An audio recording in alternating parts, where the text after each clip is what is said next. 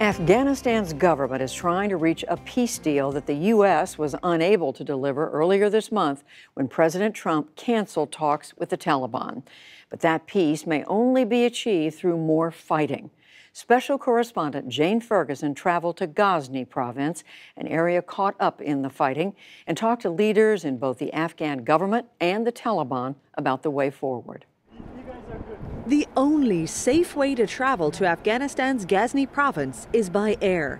Helicopters carried us there with top government officials into areas until recently controlled by the Taliban.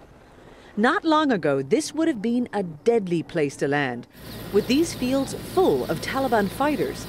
Even today, it's a risky trip for Afghanistan's national security advisor, Dr. Hamdullah Mohib. What kind of a reception are you getting? He's here trying to reassure people that government forces are in control. They're rebuilding their lives. Their main concern is uh, what if this is only temporary? You know, what if we leave uh, and, and are not able to maintain what happens to them? That's because all across Afghanistan, the Taliban are launching attacks on police and government forces, and even popping up in towns and cities to audaciously grab ground momentarily. The Afghan government is keen to show off areas like this that they have just recently retaken using the elite special forces. This area of Ghazni, I'm standing now in the middle of an old police headquarters, was held by the Taliban for over five years. The biggest challenge will be to make sure that the government forces can hold their ground here and they don't have to keep sending in the special forces time and time again. And that threat is never far away. These soldiers told us Taliban fighters are less than three miles from this spot and surely watched us arriving. For some, not even the army can help.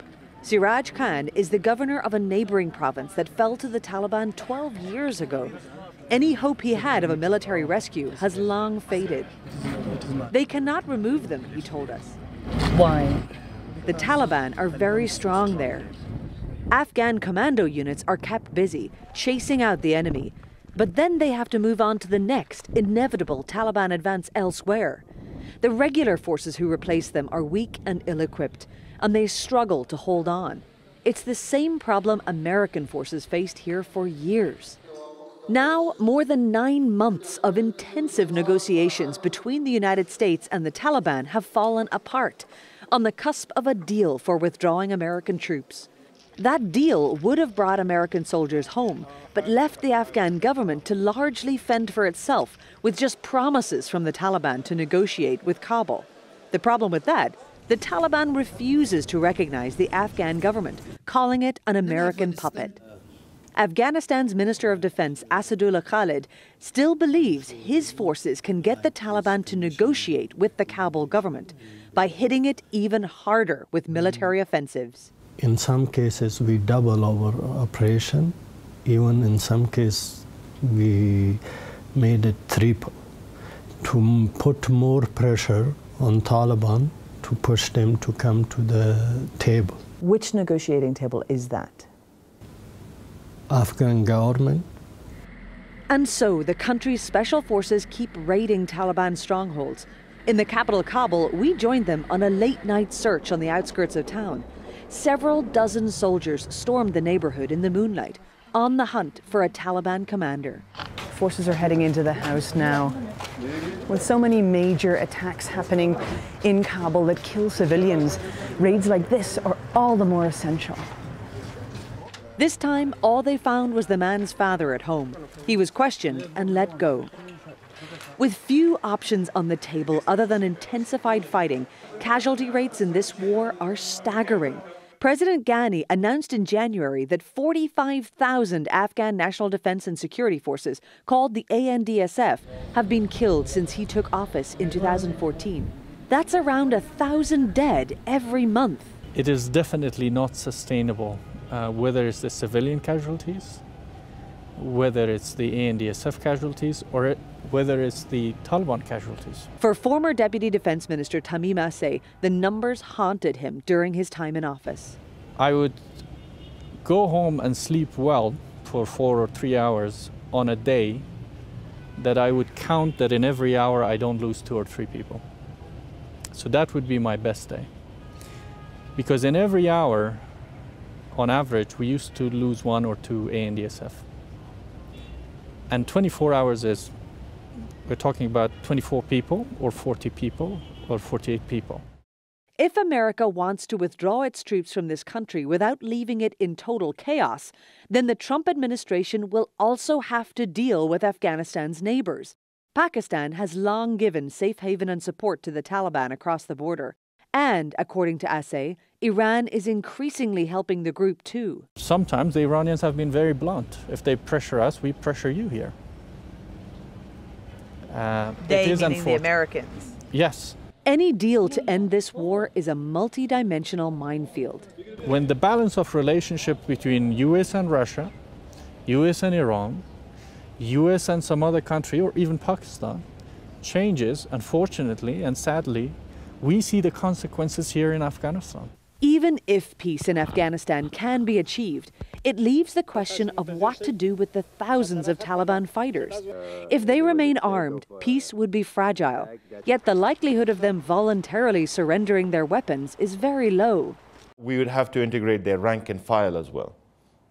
And we are looking, and we're looking at these, these plans that we're making in these districts to utilize their, uh, their fighters to secure some of these areas if we were if we were able to. Back in Kabul, we sat down with the National Security Advisor, Dr. Mohib, in his office at the presidential palace. He says he is planning for all scenarios. Now we have to be very careful. We cannot integrate them into the ANDSF right away because we would be creating a Trojan horse. We have to be careful at what percentage uh, uh we are able to, to do this and maintain the security forces' integrity. Flying up to remote Badakhshan province, we headed out to meet with this group of dozens of Taliban fighters.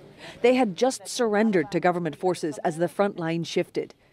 Unbowed, their commander was confident the Americans will soon be gone. Do you think that they will leave soon? Do you think that you're winning this fight?